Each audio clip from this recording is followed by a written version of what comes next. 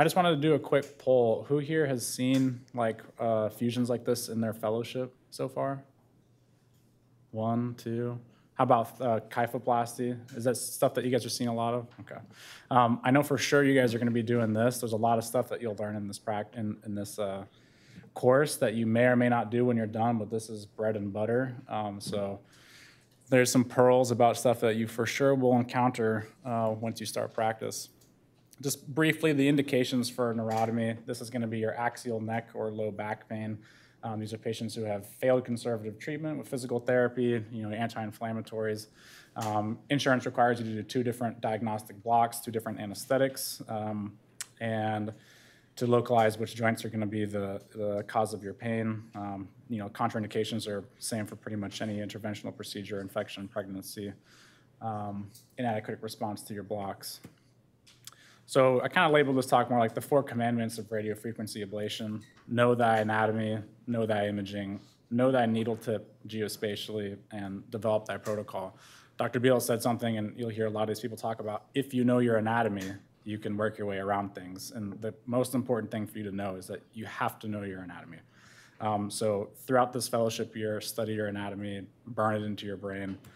Um, I, I do recommend working in three dimensions. Get a spine model, look at it, get needles, figure out, you know, how does this correlate to what my x-ray picture looks like. So um, know your anatomy. Um, good procedural technique is driven by understanding your anatomy in 3D. So when we're thinking about the cervical spine, you know, your, your main views when you're doing um, radiofrequency ablation is that you have to know where the medial branches lie. Um, very commonly, you're going to be treating C3, C4, and C5. This is just going to be your axial neck pain that doesn't really radiate into the top of the head or down into the shoulders. So these are your most common areas. Um, so there's, there's, I don't expect you guys to, you know, remember where everything is at this point. You just have to study your anatomy, um, understand your landmarks, and understand how this applies to your fluoro. Um, when we're looking at the lateral view here, we have, I don't know if there's a, a pointer up here or not. There we go. Um, the third occipital nerve, this is uh, very commonly a nerve that you're going to ablate when you're having cervicogenic headaches, so pain that's radiating up into the occiput. This is uh, super common. Um, you'll have I commonly have patients who are getting treated for migraines who are on five different migraine medications, and they come to you, and it just turns out that they have either thoracic neuralgia or occipital neuralgia. So it's a huge um, service to patients when they're on like polypharmacy being treated for what's not really a migraine. Um, so I always think thoracic nerve for patients with uh, posterior headache pain.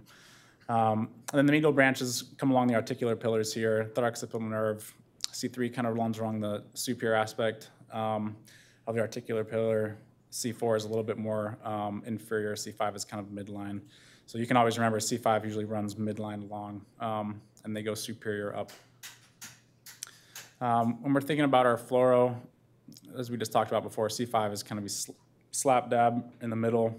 C4 is a little bit more superior, C3 is up. These are probably your most commonly treated areas. And these are some of the referral patterns that you get uh, in terms of where patients are going to have uh, pain referring from which joint. So C2, 3, the, the occipital nerve is going to come up here. Um, I don't really find it super commonly that people are having lower facetogenic pain. Generally, pain down into this area is going to be from like a C7 radiculopathy, but you can get it. Just know know your referral patterns. Um, the medial branches innervate the, uh, obviously the, the facet joint, the multifidus muscles, interspinal ligaments, and a small patch of skin over the joint.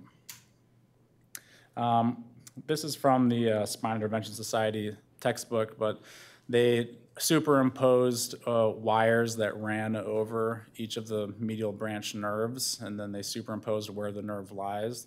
So, you know, there's some variability in where the nerve actually runs. Um, you can mediate some of this by doing two burns or adjusting your needle. So when you uh, are getting your needles placed, it's you know you're going off of cadaveric studies. The needle, the, the nerve is not always in the exact same position. You know the you know approximate position.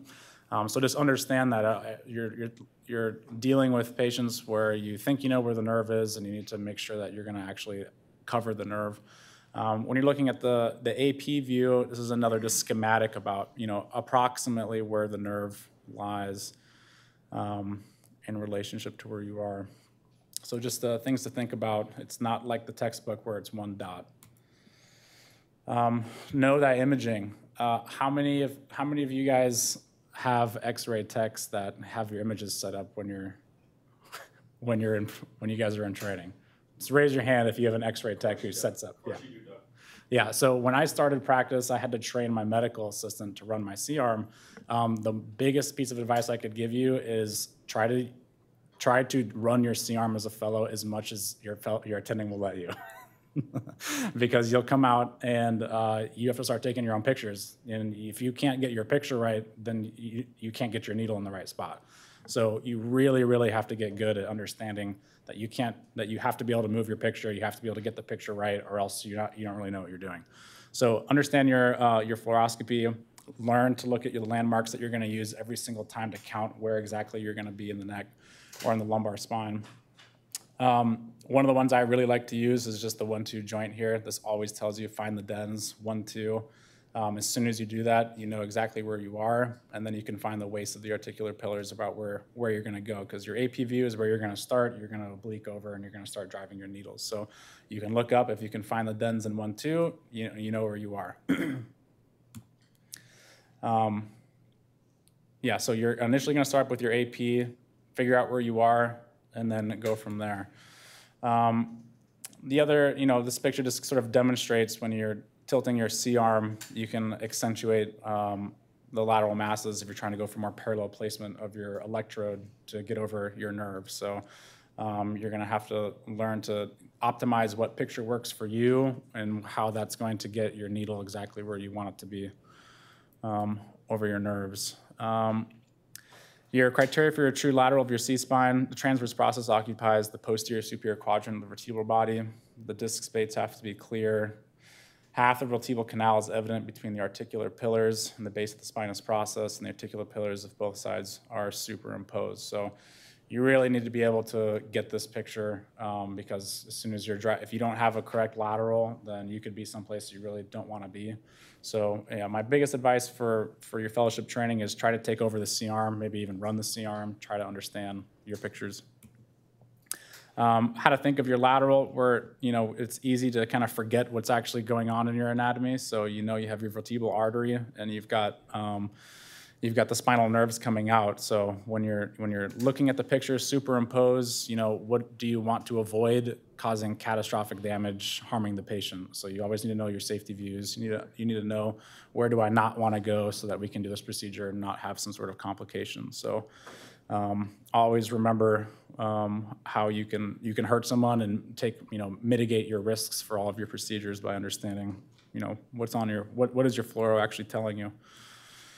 Um, know thy needle tip. Uh, you know, I think they covered some of the different types of probes that can be used for RF. A lot of times you're just going to be getting these ellipsoid burns around your RF needle. So the concept is that you want to have parallel placement of your needle tip so that you're covering the longest portion of the nerve as possible. Generally, you're going to be doing this um, from a posterior approach. Some people come from a lateral approach, but then unless you have some sort of tip that's causing a, a projection of your burn, you're not really going to get a good lesion. So you really want to try to get parallel placement. Um, like here's here's an example. If you're coming from a lateral approach in the cervical spine, and the nerve is um, there's a high probability that you might not get a good lesion. So know what your needle tip is, know what type of burn it, it's going to go, and you want to try to get as parallel to the nerve as possible. Um, this is out of Furman. Hopefully you guys have this textbook. Everyone's neck will look like this in practice, I promise you. Um, but yeah, this is like a classic example. Find your C12, find the dens. You have three, four, five. Uh, this is obviously coming down a trajectory view. You want to come down, touch os, you know where your depth is. And then once you've uh, gotten all three of your needles placed and you have, have touched os, then you go switch to your lateral view once again, demonstrating the spinal nerves and the vertebral artery here. Um, and this prevents you from going too deep. So your general protocol, you obtain your AP view, use the same landmarks to orient yourself to your anatomy every single time. You have to learn how to have a process for yourself, identify where you are. Uh, once you've identified and if you feel comfortable, you know where you are, then you can start to fine tune your image, oblique and caudal tilt to try to get your needle to be parallel. Um, then you drive your needle to os, rotate the lateral, fine tune, and motor test. Uh, Your complications for the cervical spine, you can have, you know, same for any procedure that you're really going to get. Vasovagal, um, you can get a neuritis from this. Not super common, but if you get a little bit too close to the, to the DRG, you can get some, um, some post-RFA neuritis. Uh, It's common for patients to have uh, cutaneous loss in that section of the, the neck. Sometimes the patients will complain of a sunburn-type sensation. Um, You can get some ataxia, numbness when you do a third occipital nerve. It's very common when you're doing medial branch blocks of the third occipital nerve that patients will have some sort of vertigo, which is normal um, for a few hours.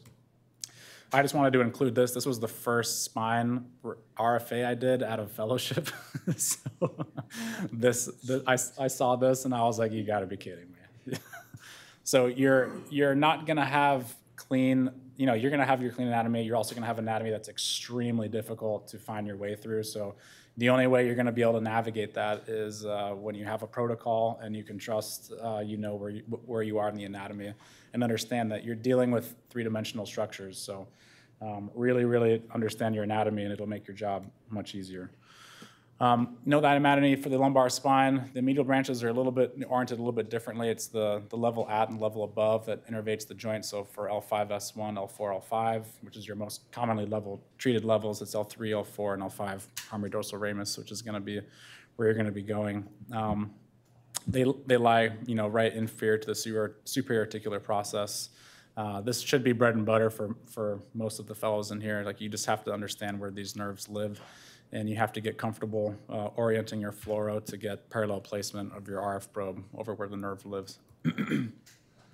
Uh, Not too much different in terms of what the medial branch is innervating in the lumbar spine, only that they're oriented differently. So you're, again, L3 and L4 of medial would innervate L4, 5, and so on. Uh, Your target acquisition, you're going to oblique over to the side that you're um, trying to treat.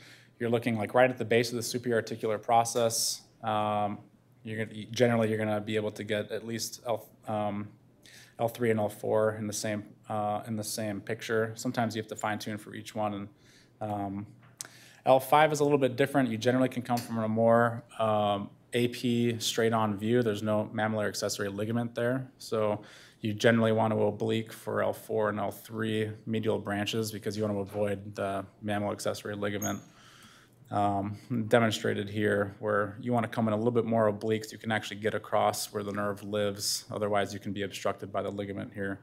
But for L5, there's no ligaments, so you can come in from a more uh, AP view. Um, Once you have your oblique needle touched down to os, you can fine tune in your safety view, make sure you're not protruding into the foramen.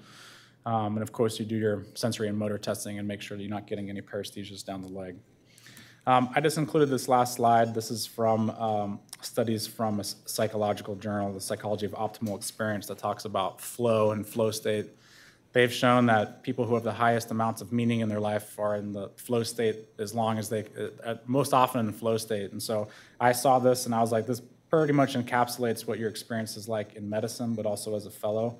Um, but as you go from low to high challenge, your anxiety levels go from low to high, and as you're as you go from uh, low skill to high skill, you can find yourself finely tuned, and you want to finally tune yourself in the channel. So continue to challenge yourself. You're going to have situations of high anxiety. Find your flow state. This is like the best. This is the best specialty to be in, I think, in medicine. So, yeah. So that's what I got for you.